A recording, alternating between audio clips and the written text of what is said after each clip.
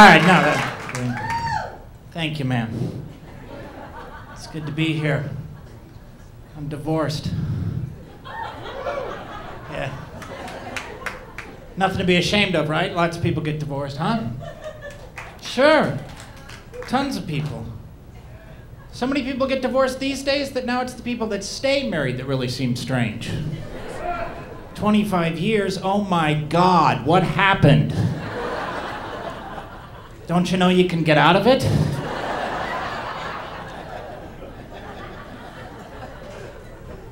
It's embarrassing to get divorced. My wife and I, we only lasted three years. Yeah. We were supposed to be together until one of us died. I never even had a fever.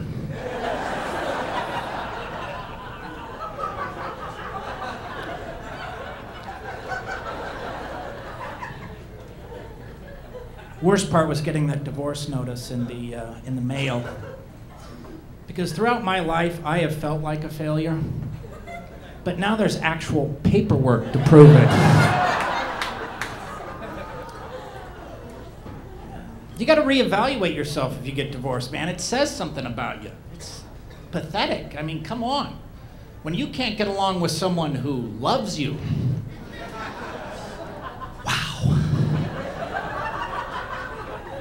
Now, who do I date?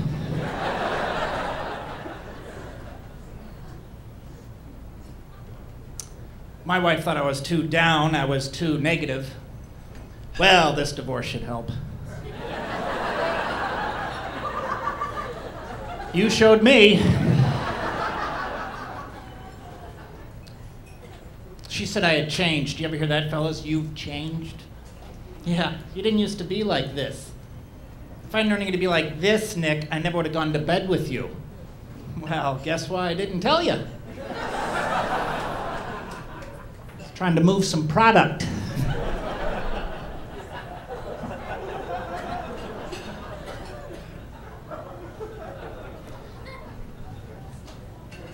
My friends were shocked. You got divorced? Wow. You seem so happy at the wedding. That's stupid. The wedding, that's not part of the marriage. You're not into it at that point. Wedding. It's like telling a shark attack victim, gee, you seemed okay on the beach.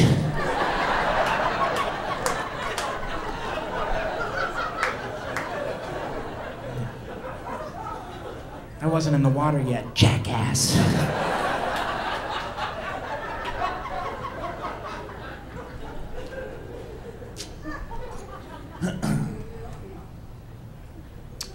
Einstein got divorced. Did you people know that? No, I didn't either. Albert Einstein, one of the greatest geniuses of all times, got divorced. They should tell you that before you get married. It shouldn't be, do you love her? Do you want to spend the rest of your life with her? It should be, do you think you're smarter than Einstein? Huh, 2.0?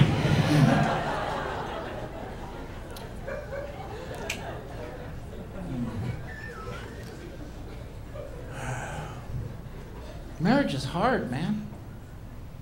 No one tells you how hard it's going to be. They try to slip it into the ceremony at the last minute in sickness and in health. For richer or for poorer. But at that point, what are you going to say? Whoa, whoa, whoa. How sick and poor is this broad to get? She's just to be like charging stuff and barfing? Look at me, lady! Pay attention. Mm. I could have been more affectionate. That's one of my like, not very affectionate. I don't come from an affectionate background. I don't come from a warm family. You know, you want to get a hug in my family, you got to get something stuck in your throat. And even then, as soon as it pops out, the other person's like, "Get off of me!"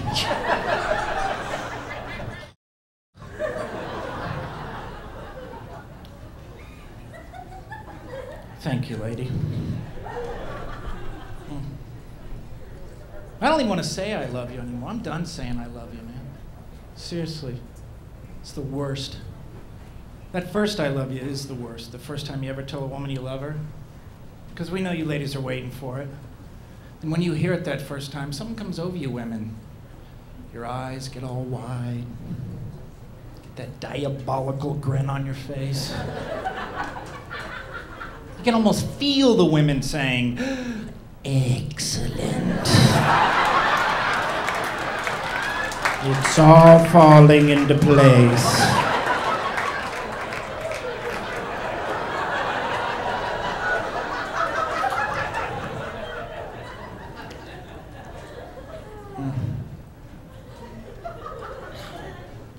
Just means something different, you know, when a woman says, I love you. When a woman says, I love you, it, it's coming from experience. It means we're committed, we're together, we're going to make it.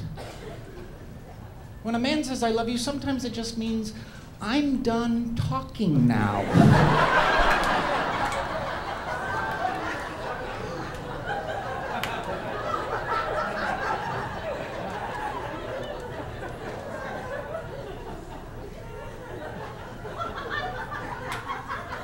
You know what the problem with relationships is? Love. How do you know if you're in love? There's no way to confirm it. There's no test. It's not like you stick your in, hey, it turned blue, we're in love.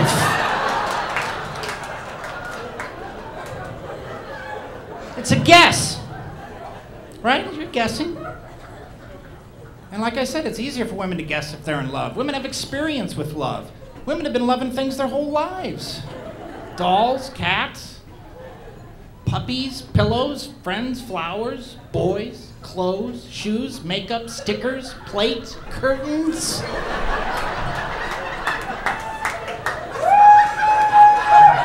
Everything a woman sees. I love that. It's fantastic. Me and the gravy boat. That means a lot.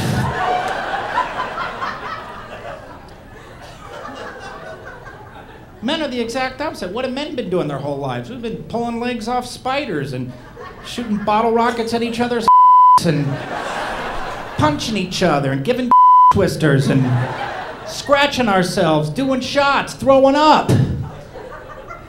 There's a hell of a resume for love.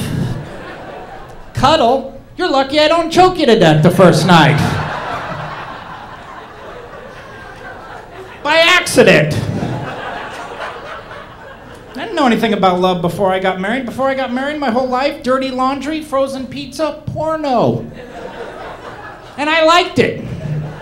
I did. I felt like a private eye with no cases.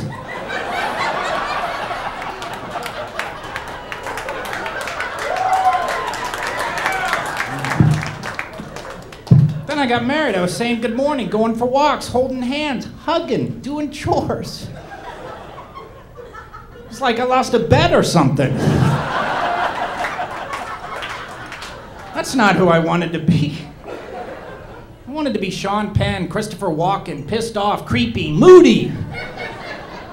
Then I got married. I had a sock drawer.